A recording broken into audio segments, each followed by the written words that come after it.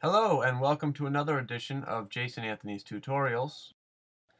In this tutorial I want to teach you a Photoshop tutorial and that is uh, selective desaturation.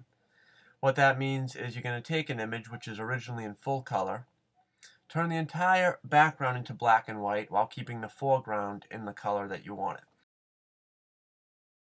For this tutorial I chose a clip from the movie Old School well, without further ado, let's get started. The first thing we're going to do, we're going to take the background, take the image, um, right click, hit duplicate layer. We're going to name this black and white. Hit OK. Then you want to go over to image, adjustments, desaturate. Now that takes the entire image and turns it into black and white. There's many, many ways to do this but this is a very quick and productive way to do it. Okay, from there, your next step is going to go over to your eraser brush tool. Then you want to make sure you pick a soft brush. So, you know, this is a hard brush because if you look, the hardness on it is 100%. So we're going to choose one with a soft brush. So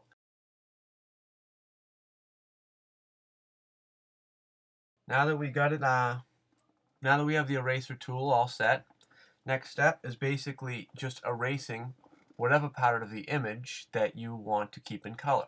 In this case, we're going to keep uh, Frank the Tank from the movie. We're going to keep him in color. So now you just basically uh, just erase, just make sure to not try to go over the outline of whatever you're trying to keep in the foreground.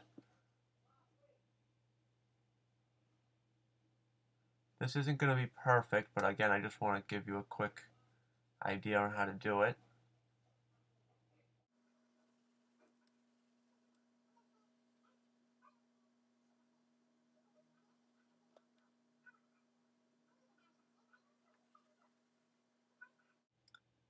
Again, there's so many ways to do so many things in Photoshop, but in order to take uh, take an image and selectively desaturate it, this seems like the most easiest, quickest, and most productive for the time way to do it.